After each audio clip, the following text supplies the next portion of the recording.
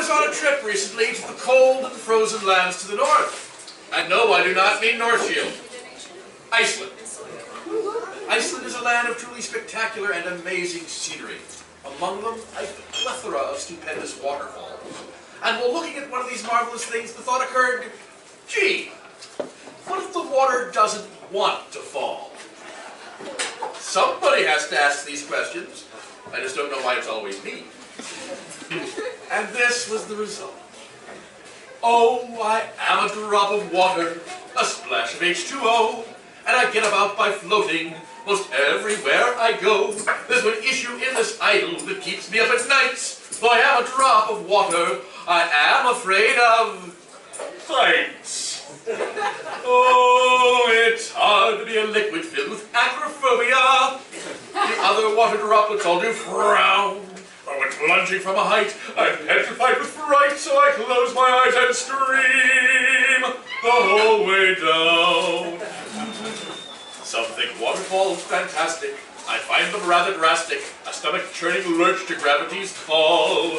Oh, my day it would be made with no crashing great cascade. My elevation changes, not at all. My respect for earth has no dearth, and for fire I've no ire, although at times the two of us compete.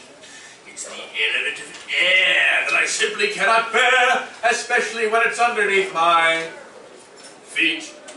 Oh, it's hard to be a liquid filled with acrophobia. The other water droplets all do frown. But when plunging from a height, I'm petrified with fright, so I close my eyes and scream the whole way down. Ah! I cheerfully would whistle to be on the abyssal plain, for there's the deepest darkness there. Where the light cannot be found, that's the downiest of down, and the atmosphere is kept safely way up there. Just when I've settled on the notion to stay down in the ocean, some cumulo nimble fingers chance to pass. And though I shout out, not again, I don't want to fall like rain, the silly bucket's heads up in his clouds. oh, it's hard to be a liquid filled with acrophobia. The other water droplets all do frown. Oh, I went plunging from a height. I'm petrified with fright, so I close my eyes and scream. all the way down. Yes, I close my eyes.